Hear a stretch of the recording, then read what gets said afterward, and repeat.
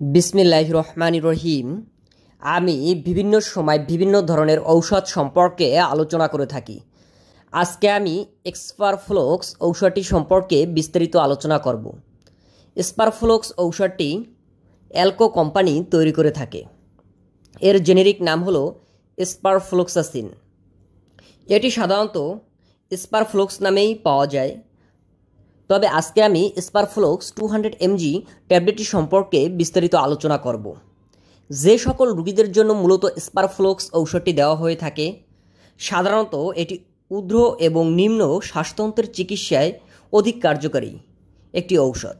তাছাড়া সাইনোসাইটিসের সমস্যা নিউমোনিয়া কমিউনিকেটিক এবং হাসপাতাল সংশ্লিষ্ট pneumonia bronchitis chronic bronchitis COPD ফুসফুসে অ্যাবোলোসেস শ্বাসতন্ত্রে এবং অন্যান্য সংক্রমণ, মূত্রনালীর সংক্রমণ, মূত্রনালীতে জ্বালাপোড়া করা, মূত্রনালীর যে কোনো ধরনের সংক্রমণ, ত্বকের সংক্রমণ, ত্বকে বিভিন্ন ধরনের ইনফেকশন সৃষ্টি হওয়া, ত্বক লাল হয়ে যাওয়া, এ সকল সমস্যার জন্যই মূলত স্পারফ্লোক্স ঔষধটি দেওয়া হয়ে থাকে। স্পারফ্লোক্স ঔষধটি অতি সহজে এবং দ্রুত যে সকল রুগীদের ঊর্ধ্ব এবং নিম্ন শ্বাসতন্ত্রের বিভিন্ন সংক্রমণ রয়েছে তাছাড়া স্থাইনোসিটিসের সমস্যা নিউমোনিয়া সমস্যা কিংবা কমিউনিটি হাসপাতালে সংশ্লিষ্ট pneumonia bronchitis chronic bronchitis COPD ফুসফুসে বিভিন্ন ধরনের সংক্রমণ সৃষ্টি হওয়া কিংবা শ্বাসতন্ত্র বিভিন্ন সংক্রমণ সৃষ্টি হওয়া, মূত্রনালীতে বিভিন্ন সংক্রমণ, মূত্রনালীতে জ্বালাপোড়া সৃষ্টি হওয়া কিংবা মূত্র সঠিকভাবে না হওয়া। মূত্রনালীতে বিভিন্ন সংক্রমণ সৃষ্টি হতে পারে। এই সকল সমস্যা দূর করার জন্যই স্পারফ্লোক্স ঔষধটি দেওয়া হয়ে থাকে। স্পারফ্লোক্স ঔষধটি এ সকল সমস্যা দূর করার জন্য খুবই কার্যকারী একটি ঔষধ।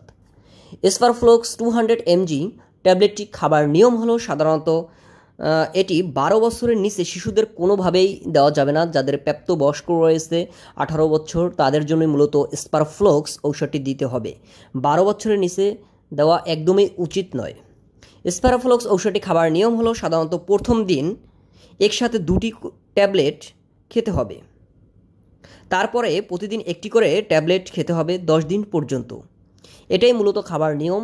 তবে রুগীর অবস্থাভেদে রুগীর তারতম্যের উপর ভিত্তি করে এবং ডাক্তারের পরামর্শ অনুযায়ী এর ডোজ বাড়ানো কিংবা কমানো যেতে পারে। স্পারফ্লোক্স ঔষধটি খাবার পূর্বে অবশ্যই একজন রেজিস্ট্রারি ডাক্তারের পরামর্শ অনুযায়ী খেতে হবে।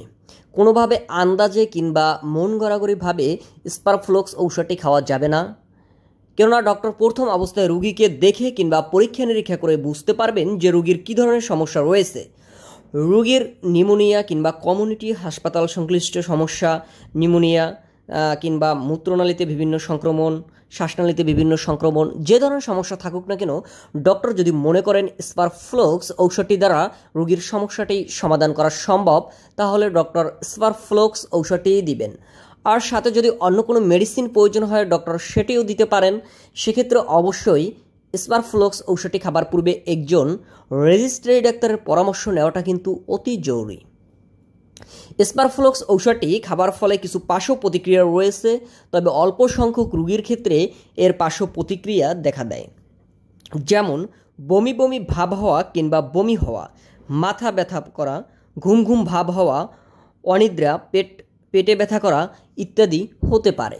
তবে এটি অল্প সংখ্যক রোগীর ক্ষেত্রেই হয়ে থাকে।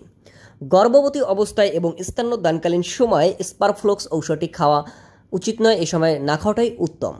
যদি আপনাদের স্পারফ্লোক্স ঔষধটি সম্পর্কে আরও কিছু জানার থাকে, তাহলে অবশ্যই আমাদেরকে কমেন্ট করে জানাবেন। তাছাড়া যদি অন্য কোনো ঔষধ কিংবা স্বাস্থ্যবিধি সম্পর্কে জানার থাকে, তাও আমাদেরকে কমেন্ট করে জানাবেন।